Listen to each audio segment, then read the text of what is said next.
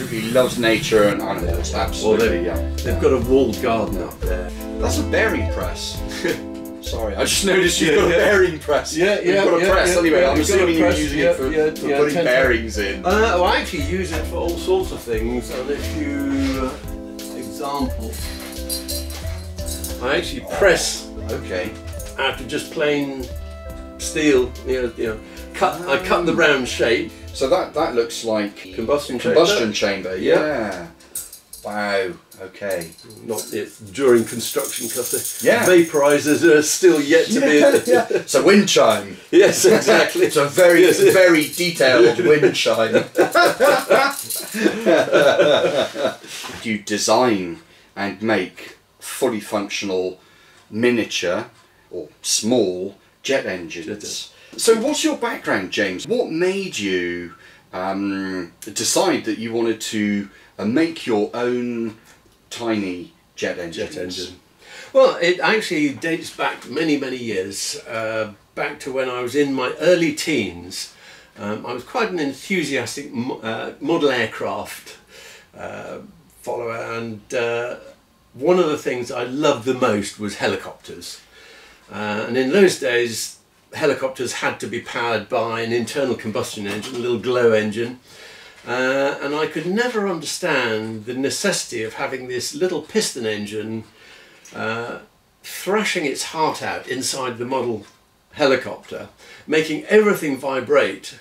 Uh, when I was watching full-sized helicopters flying around, clearly with a uh, jet engine powering the rotor so smoothly and calmly, and it just seemed a sensible way to go to try and emulate that by making my own little jet engine, um, which I started doing actually in the uh, late 60s, early 70s. really? Was actually when I tried to start.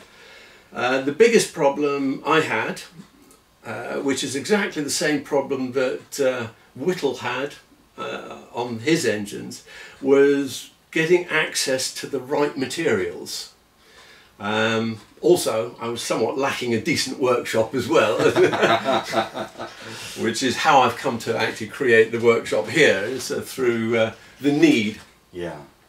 Approximately how many pounds of thrust do you get out of one of these engines? Uh, it will vary according to its, actual rotor size. Yeah. Uh, but an engine, the examples we've got here on the bench, typically will be about 16 pounds or about 7 kilograms of Seven thrust. kilograms, yeah. Um, yeah. And Yeah. they weigh about half a kilogram, Yeah. know, about one pound. That's like holding seven bags of sugar in your hands, isn't it? Exactly. So that's Yes, it- quite a substantial amount of force. It really. is indeed. Yeah. It will. Yeah. Yeah. It will lift a, a good sized aeroplane off the ground.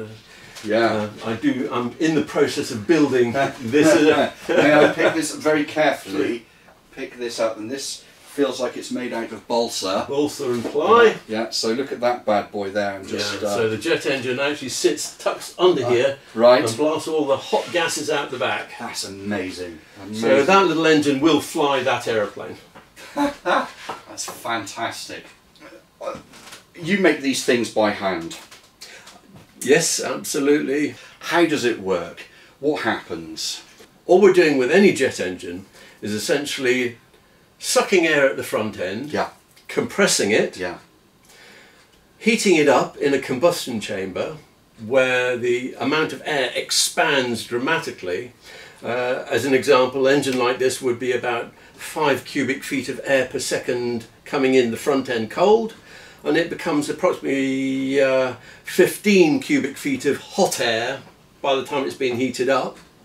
That then goes through the turbine, and the purpose of the turbine is to extract some of that energy from the gas to drive the compressor. So in actual fact, actually what comes out of the back end is only about 10 cubic feet of mass flow uh, of- of air because 5 cubic feet have actually been converted, the, the heat that has turned that uh, 5 cubic feet into 15 cubic feet back down to 10 cubic feet is because of the temperature changes during the engine. And a jet engine fundamentally is all about temperature. Okay. Yeah. Okay. So all we're doing is changing So energy by temperature. so on the front of here then there's an electric motor A little starter. which Yep. spins rotor the up. rotor up. Yeah. Okay. Then I, I believe you might inject some gas in there Yep. to to warm up the the engine. engine. There are Yeah. actually two ways of doing it. I typically use the gas. It's the simplest uh, solution. So we just put a little bit of gas, ignite it with a glow plug. There's enough energy in a glow plug to ignite propane. Um, and that will then heat the vaporizer tubes Okay. Because our primary fuel is kerosene uh, or paraffin, whichever way you like to call it, and that will not vaporize at ambient temperature. Okay. So what we have to do is just heat up those sticks. So when we pour it in, it will vaporize and turn to a gas Yeah. fairly much instantly. So the, the gas is only on for a matter of 30 seconds to a minute. There's enough time to heat up those tubes. Once the fuel starts going in and starts burning, instantly that's giving the heat so the gas can then be turned off and the engine will then accelerate on the heat from that kerosene. So at which point the engine then becomes Yeah. self Yeah, self-sustaining. What- self-sustaining. Yeah, There we go, what, yeah. what we're trying to do is achieve uh, a, a point where we don't need the starter motor any longer. Absolutely. The starter motor is Yeah. just there to get it up to speed So- where there's enough energy. Question then: Does does the starter motor then disconnect? This starter motor, surprisingly, this is a little brushed motor Yeah. uh, and it has a Bendix drive on it. Okay. uh, which basically, as the starter motor kicks over, throws the Bendix forward, connects to the rotor, and spins it up. And when we're ready to disconnect, we actually essentially short circuit the motor, which Just acts like a brake, Brake. Yeah. Okay. which instantly grabs the Bendix back off the rotor. Okay. And away it then, And then goes. it disconnects. Okay. disconnects And then, and then yeah, yeah. everything's just going on. we rely on the energy from the turbine to drive the compressor. And essentially, a jet engine becomes more efficient, more powerful, the greater the heat that you can put into the turbine. However, what the turbine is made of determines how Hot things hot can it get. can actually get. And so there's this uh, balancing act between having a material that will withstand the heat that you want to put through and actually restricting the heat to that material. Uh, and when I started, it was really just uh, the only thing I could get my hands on was mild steel, Yeah. which doesn't last long at all at, at elevated temperature. Moved on to stainless steel, which will last a little longer. Uh, you might be able to get one engine run out of a stainless steel wheel. Um, but it wasn't until uh, the 1990s when it was starting to become possible to obtain small quantities of uh, a material called Inconel, which is a very high nickel alloy, uh, which will maintain its strength at very, very elevated temperatures. And in fact, it's the same material that they use in full size jet engines uh, because it, of its capability to put up with the high temperature and the extreme stress of uh, centrifugal forces with these rotors rotating around at very, very high speed. So the, the, the speed of the rotor is up to uh, 160,000 example RPM, was it? here was 160,000 Yeah. RPM. Yeah. The example here um, is 120,000 RPM. So Okay. let's say a very modest Okay. speed by comparison. And I suppose the bigger the turbine and, and the, the further out those blades go, the more intense the pressure, the centrifugal Fugal force. forces on the tips of those blades. On those tips. And you mentioned earlier that it was up to two tons Two in tons, some yes, cases. absolutely. So that's quite incredible. The turbine wheel is essentially a cast disc.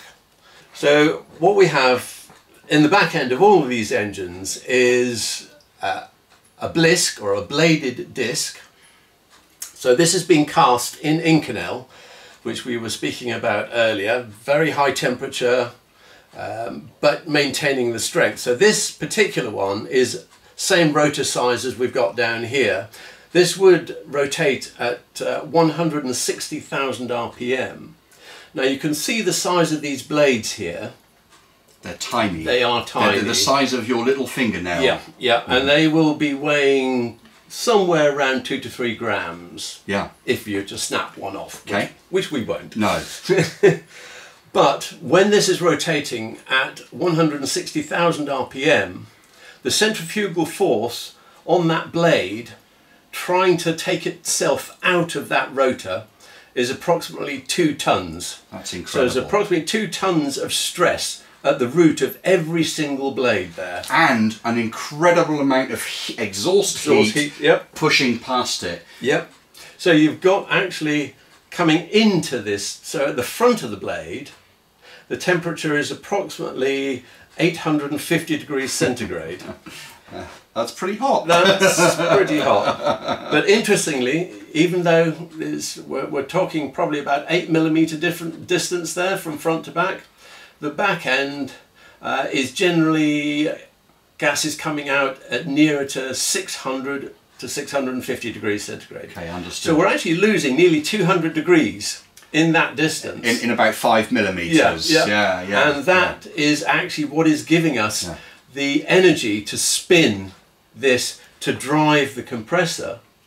And this, the compressor on these engines, uh, at this kind of size, you're looking at approximately 20 brake horsepower.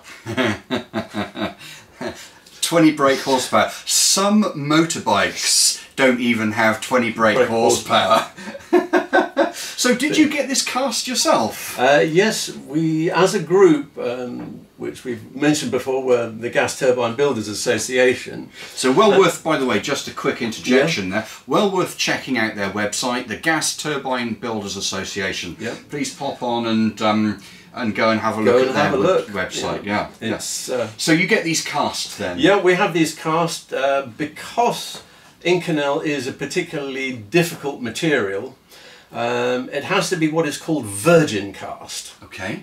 So all the elements that make up the material are actually mixed during its liquid stage, and it's then poured into uh, the mold. And it can't be poured strictly into the mold because it's actually once it, it's melted, it's more or less a putty-like material. Yeah. So it's quite gooey. Okay. And so it actually has to be vacuum formed. So you've got to suck it into the Essentially mould. suck it in. Yeah, And you also need the vacuum environment to prevent the lighter elements of the metals burning off before yeah. it's set. yeah. Okay. So you need actually you like an, an, an, an inert sort of environment, Environment, for- yeah. and, a vacuum as well. As well. So you don't get any. Yeah. Okay. and no inclusion, so you don't have any bubbles or anything yeah, inside yeah, no it. voids in it. no yeah, voids. yeah. Uh, and so the, the material comes. Yeah. Once it, it sort of sets hard. Um, for safety, we then also have them X-rayed, so you can actually see if there's any issues with the wheel before you wind it up to these kinds of speeds. Because when they do come to pieces, It can be quite they- spectacular. It can be fairly spectacular. Um, so what we do, so that what we generally do, even though we're a, a group of amateur engineers, uh, things like this we have cast professionally. right. Right. So it's an aerospace company Yeah. who has all the facilities uh, to do this kind of uh, casting for us. But what that means is it's not very easy to obtain them because a So this is the heart of, of, of, of the kit then, isn't yeah, it? Really? this is So the heart. that- Uh, but what we're trying to do now is actually move away from specially cast components because it is a restriction for easy entry into the hobby. Uh, and so what we're now doing is actually using a turbocharger. Already we use the compressor yes. from the turbocharger. From the turbo, yeah. So we're now actually moving towards having a, uh, radial inflow turbine in place of the axial flow turbine. Uh, because it's made of exactly the same material, it puts up with exactly the same temperature range and the same speeds. Many, many people don't realise that under the bonnet of their car, they have essentially a rotor exactly like that, uh, but with a radial inflow turbine on the back, rotating at those same speeds, 120, 160,000 RPM, Compressing air into your into, into your the piston engine. Into your engine. Yeah, exactly. Yep, yeah, yeah, yeah. So what we're finding is that by switching over to the radial inflow turbine, we suddenly open up the possibilities dramatically because these have to be specially designed, specially molded, Yeah. and then cast. So there's a very limited range that we can do in axial flow. But as soon as we move to the radial inflow, like the compressors, millions have been spent in research and development by the turbocharger companies, and the range available is enormous. And so we can actually design then a jet engine exactly to our own requirements and just select the right wheels. Okay. So that makes life a lot easier. Then it's Um, a case of making the combustor and the body and the casing fit the wheels that Fit that- those that- wheels, that are the right size and shape. Yeah. yeah, Okay. exactly. So So, have you designed all of this yourself from scratch, or, Uh, or, y- or Many of them I have. This particular engine is called the KJ66, which was actually designed by a, a German uh, engineer called Kurt Schreckling. okay? Uh, and the K is actually Kurt. Yeah. The J is Jesus Artes, who is uh, an engineer from, from Spain, and this was a joint venture between the two of them. Um, but primarily, it, it was Kurt uh, probably did the bulk of the design uh, with with additional input from from Jesus.